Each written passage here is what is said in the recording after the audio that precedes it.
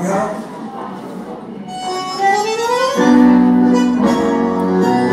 Hola, me llamo Romeo. Es un placer, Tosila. ¿Quién te